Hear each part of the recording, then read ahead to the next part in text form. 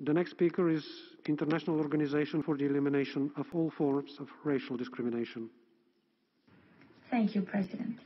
We welcome the High Commissioner's reports on the human rights situation in the occupied Palestinian territory, and we share her concerns with regards to the expansion of the Israeli activity settlements and their violations to the rights of the Palestinian people, as well as the absence of accountability for all the violations in the OPT.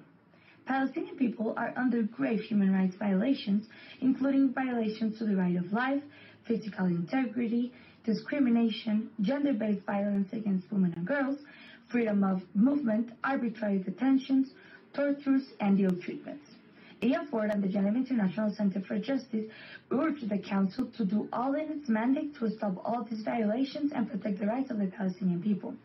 Further, the invalid decision of Israel to impose law jurisdiction and administration in the occupied Syrian Golan amounts to a war crime that can possibly involve individual criminal responsibility of those involved.